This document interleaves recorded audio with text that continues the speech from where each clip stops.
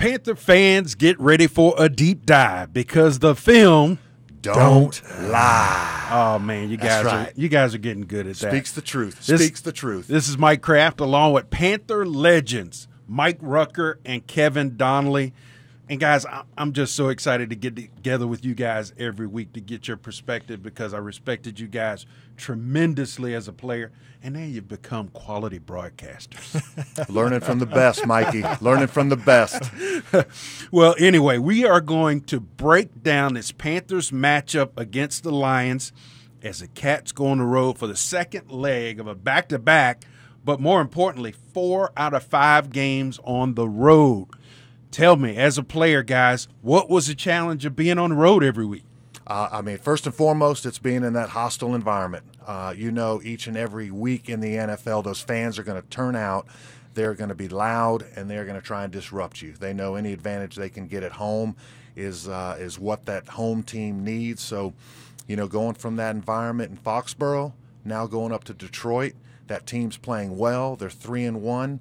You know, as a player, you really got to get that mindset that you're going into a, an environment that's going to be brutal and uh, you know with the, several of those kind of coming up in a row it can you make you it can make you battle tested and so i think it's good that what they did in foxborough coming off of that the one advantage as a player is okay we're going right back into that thing we knew the mindset that it took we got to replicate that when we head into detroit Ruck, let me get your opinion on this because when I went around the locker room this week, I couldn't get anybody to bite on the validation story that you have to go out after a big win and get a win to validate the previous week win. Sort of sounds like deja vu all over. again. that's right but what's your opinion on that? Um, I, when I was listening, I just felt like I saw a team that's been there before, and this wasn't a surprise. And and the chips were stacked against them. No one were picking them really to win, but themselves. And so for them to go up there and and and take, I don't want to say steal a win, but take a win up there in New England was huge. Uh, you know, coach would always say that when you go on the road, you have to win two of the three phases, and you definitely have to pack your special teams and you got to pack your defense. And that's exactly what they did up in New England, and they brought their offense too, and they and they took what they needed to take. I, I truly believe that this team, when they say, "Hey, 24 hours and we move on," I think that they did that, and that shows me that they're a veteran team that has been there. They're not surprised to win some big games. They they expect to win. Where maybe another team would say, "Hey, you know," and, and really take this and gloat on it, but then the next week they they hit a hiccup because they're still win, thinking about the win from the week before. So that's something that I really looked at when I was listening to their their interviews, and they really moved on.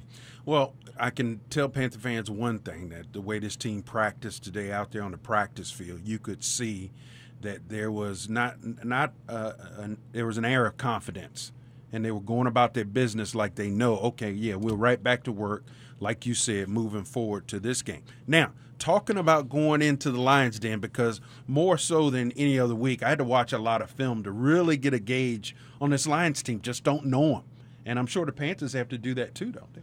Yeah, they do, and you know, obviously with with Stafford, uh, you know, he got some some big money this this offseason this year, and uh, rightfully so because he is a good young quarterback in this league. Straight And cash, homie? Straight cash to Wallet the bottom is line. full You know, what's in his wallet we all know and and he is he's when we turned on the film, you see why. You see some of the throws that he's making, and, and one in particular, the Vikings they have a two deep safety, and the safeties are on the numbers.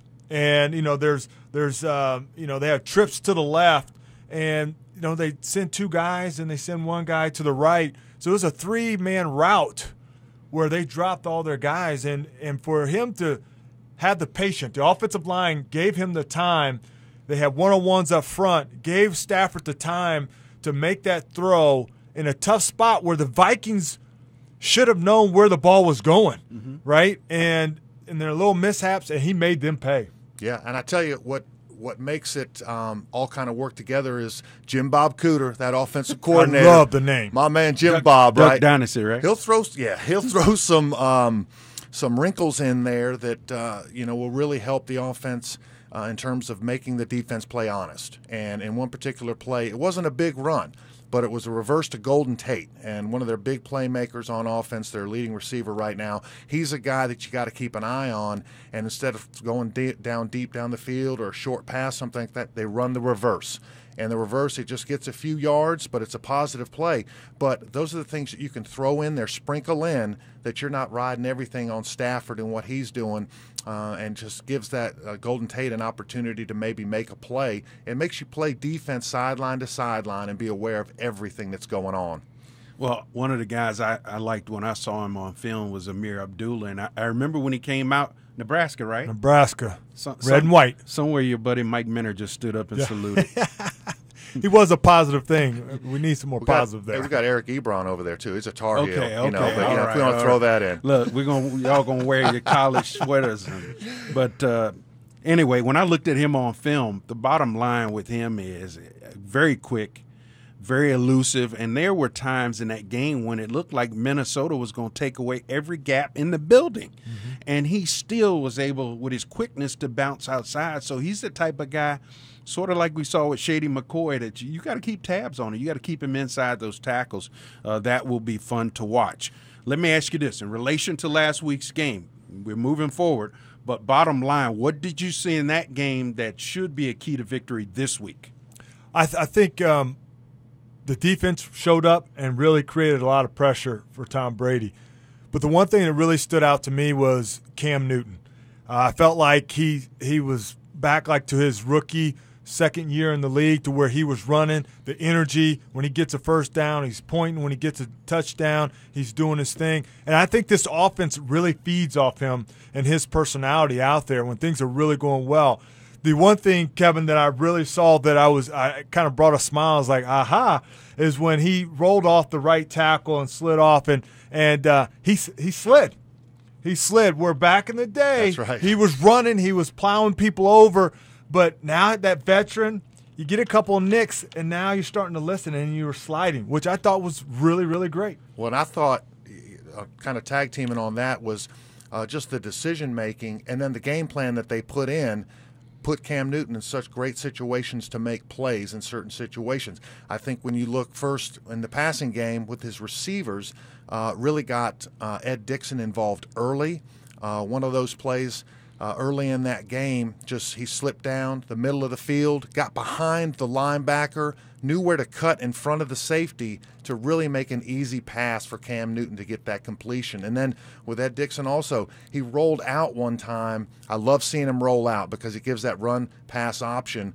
But um, again, Ed Dickson's able to kind of just uh, come off the line of scrimmage, roll out to the flat. He's actually in motion and just goes right out to the flat. And what an easy completion! And these are things a couple of weeks ago, you know, overthrowing guys or not quite getting it to a catchable spot.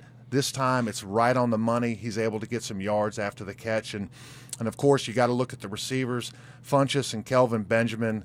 Man, they put in some great performances, and with Kelvin, uh, just he's almost unstoppable when he runs, uh, say, a quick slant over the middle and his body type and the, the wingspan that he has, he's able to make those catches or a little bit deeper, you know, kind of a combination of a deeper slant or a, a deep in, a dig route where that one's going over the middle. And the one in particular I liked was it was a tough third down situation or uh, they needed that first down and Kelvin knew exactly where the yard marker was. So did Cam. He runs it right to that, right at the line and you think, oh, he might get it, he might not. Hey, this guy's 6'5", 240. that's right. He catches that ball on that line and falls forward for about another two yards.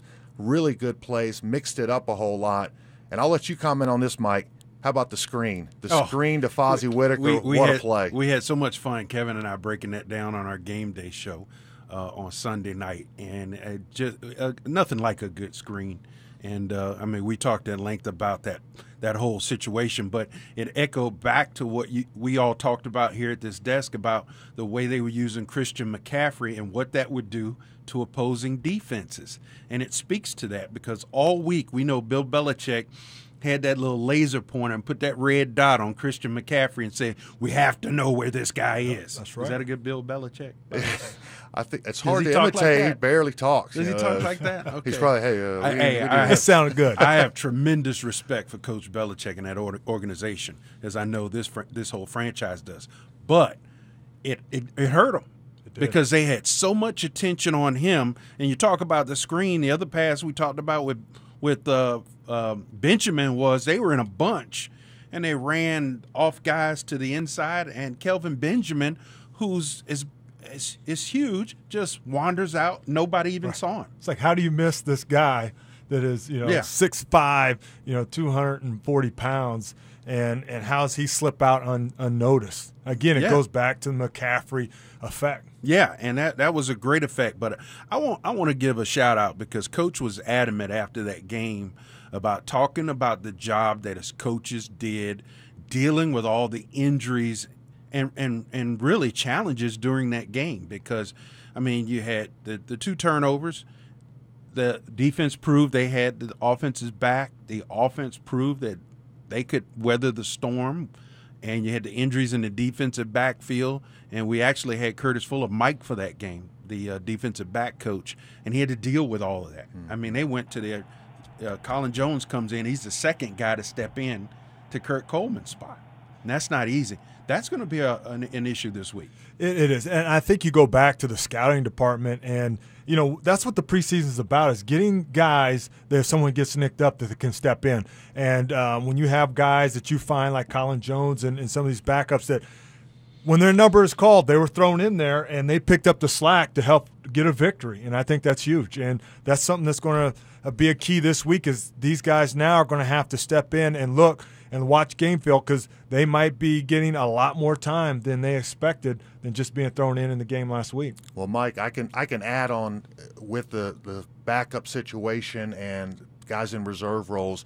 Mike and I were doing the, the TV broadcast for the preseason games, and Steve Wilks, the defensive coordinator, comes in and really made some points that during camp you're trying to find those backups, and his words exactly were, "You're only as good as your backups." Oh, we know that. That's and so true. Eh, there's so many starters you're dependent on, but you're going to have to call on these guys, whether it's offense, defense, or special teams, at certain times during the season, and they need to be able to fill in just like the starters. And that defense didn't really miss a beat with those couple of injuries that you're talking about, and, and a big one with Kurt Coleman going down. Thankfully, it's not real, real serious, but uh, they're going to have to continue that play if the Panthers are going to have some success. That's true, and that they will need all hands on deck as they travel up to Detroit.